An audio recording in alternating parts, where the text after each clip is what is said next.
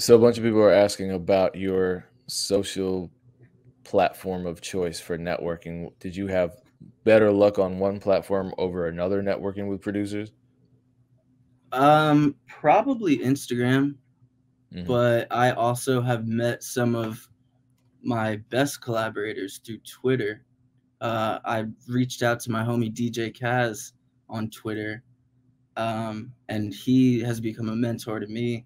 Uh, he's taught me everything that I know. Like, like honestly, um, even if I have a question, he's been able to, you know, guide me from A to Z.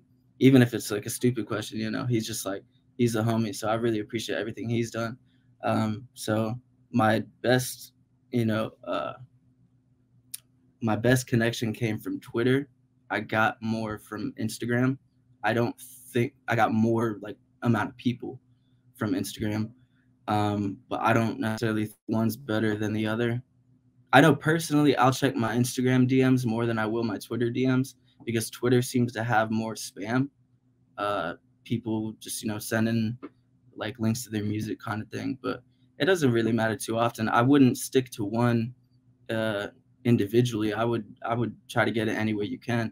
Another thing that a lot of people don't do or know about is LinkedIn. Um, LinkedIn is a very good platform for not necessarily reaching producers, but reaching executives, managers, A and R's, uh, this, that, and the third. LinkedIn is a very good platform.